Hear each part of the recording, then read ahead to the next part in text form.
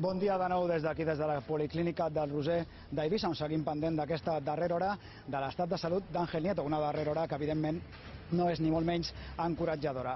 L'Àngel Nieto ha empitjorat de manera greu i de manera sobtada les darreres hores i ara mateix el seu pronòstic és crític i es pateix per la seva vida. Eh, segons han explicat també en un informe oficial de la clínica que ens ha arribat ara fa uns eh, minuts, Ángel Nieto ha estat operat d'un edema cerebral massiu. De vers les 3 de la matinada ha estat operat per retirar-li un os del crani i evitar uh, danys cerebrals. I des d'aquestes 3-4 de la matinada l'equip mèdic que atén el pilot lluita per evitar un desenllaç uh, fatal. Al llarg de tot el dia hem vist, evidentment, amics i familiars de l'expilot de motociclisme uh, arribar d'urgència també en aquesta clínica. Entre ells, evidentment, els seus fills, Pablo i Gelete, que han atès els nostres uh, micros fa aproximadament una hora i que han mostrat, evidentment, la preocupació, forta preocupació per l'estat de salut del seu pare.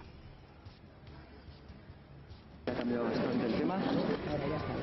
Han tenido que operar con urgencia y bueno, está bastante grave, no puedo decir mucho más. Estamos, la verdad, que un poco destrozados, esperando noticias y, y esperando a ver qué, qué, nos dicen los médicos. Pero le operaron ayer a las 3 de la, de la mañana de urgencia y, y hay, que, hay que seguir.